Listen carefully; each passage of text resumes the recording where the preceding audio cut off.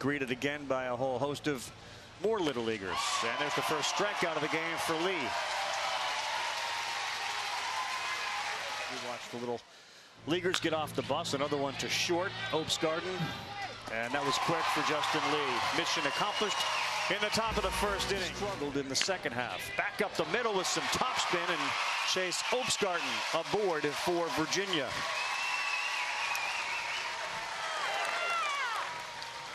So they are baseball fans that have shown up here in Williamsport. And Law walks Yates, and now it's really getting sticky with Justin Lee. Two on for Justin Lee. And he hits one in the hole. Opsgarden is being waved in. And now he turns the brakes on. And now we got runners. Opsgarden and Yates between second and third. And back he goes. Oh, what a scoop over there at third by Brett Bittner. Wow, that was close. Spidner with that glove prevents two runs from scoring. All right, now, now, this is this is like Little League baseball in your own little hometown. Right. This is the stuff that you see on Saturdays starting in April every year, and I love this, okay? So it ties him up, single left field from Lee.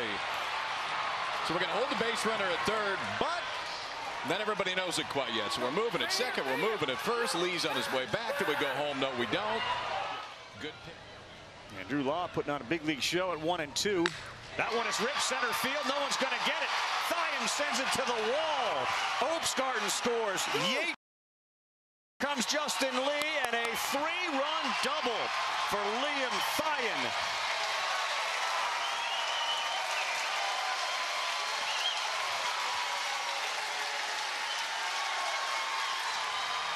Liam Thien, part of that three-pitcher no-hitter for Virginia in the opener. Watch how this starts. Watch the center fielder shift it all the way over to right center field.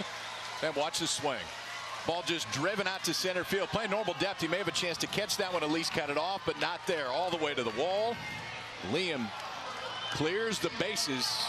Virginia strikes first, three on that swing right there. This is just what Virginia did in their first win. They got a three spot, and then they started from Bryant and Maddon and a couple of the Cubs. And the things that stick with you from your Little League are, are kind of funny. What do you remember about Middle League is Maddie Freking, our lone girl in the Little League World Series, goes back and makes Twice, yeah. and, and obviously it's a tall task today. Let's make sure that we're in line. You come back and win, great, but if not, we're still in a good spot. You mentioned that team. That's a good spot, Orleans. too. That's a great one. New Orleans will take on the loser of this game tomorrow. Minnesota is 0 for its last 20. We got a new player over here. Sit down. Right here. Sit down. What's your name, bro? Owen, Owen? Owen, what position do you play? pitcher, and Archer's really in touch with what's going on in the music scene, and these guys are introducing names he's unfamiliar with. Right field off the bat of Opsgarden, and it goes to the wall. And he's chasing down a lot of guys. He's going to have to put the brakes on at second as Culpepper touches home a double for Chase Opsgarden. He's two for two. It's a good team here. Uh, yeah, and it starts right at the top for Opsgarden. Started this game with a single, came around to score. Now second at bat, just about went up a one hopper to the wall out in right center field. Then we're playing follow the leader. Not quite sure how far it can go. Fabulous. This one to center field. Alphin's there, set to tag is Coleman. Here he comes. Throw is cut off, and into third base goes Opsgarden.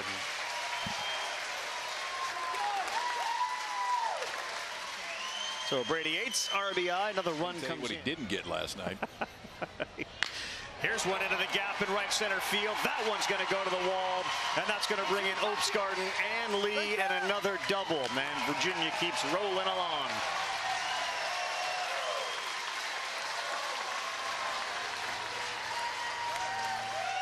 That's an A plus at bat right there.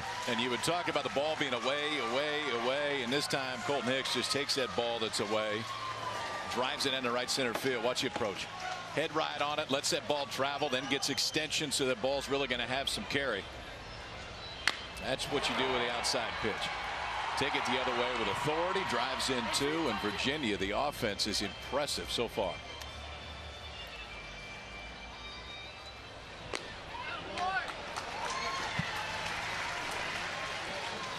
Walk to this team to Williamsport in the regionals. There you go. And that one is past the third baseman. Good piece of hitting by Chase Triplet. Another run comes in.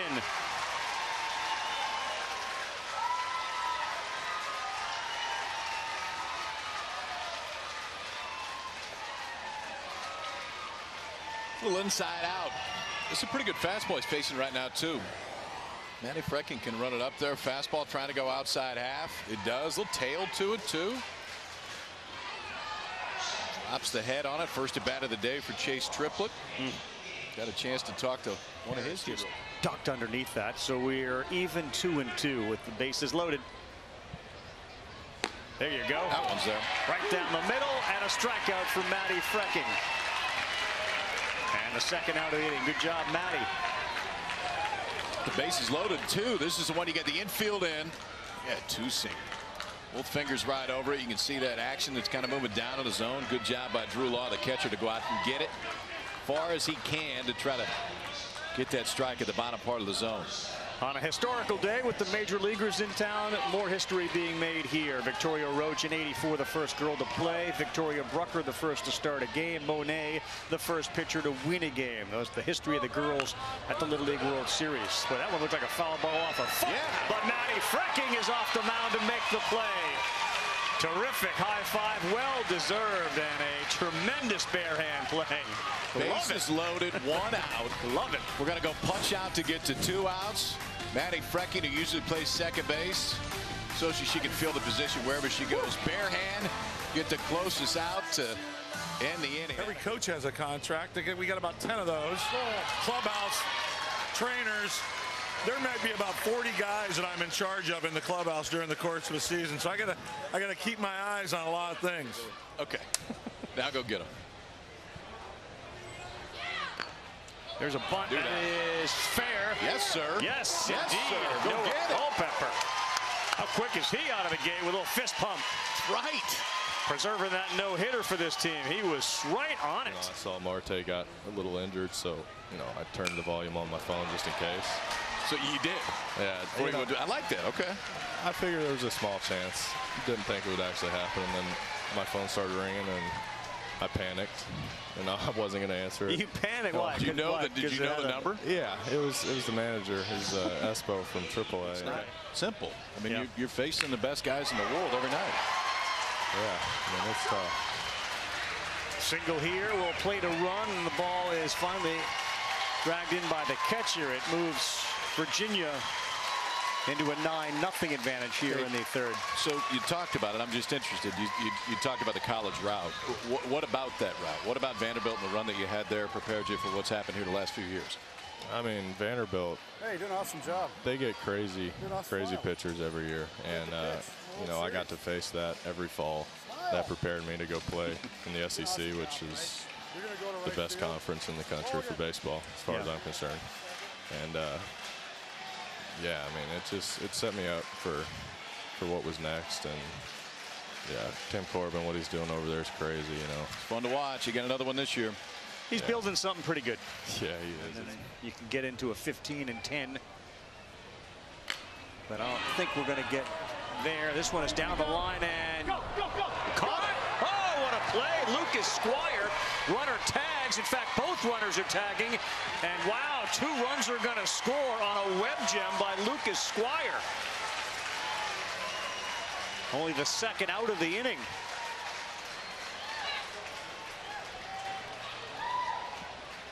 So a sacrifice fly with two RBI. It's an incredible catch. And it is a catch. it. Lucas, you're not going to forget that one, buddy. And you're going to see it a few more times tonight. It would have been an amazing boy. North Carolina in 2017, the first U.S. team to go back-to-back no-hitters to start. And they are joined by Virginia. Back-to-back no-hitters to start the Little League World Series.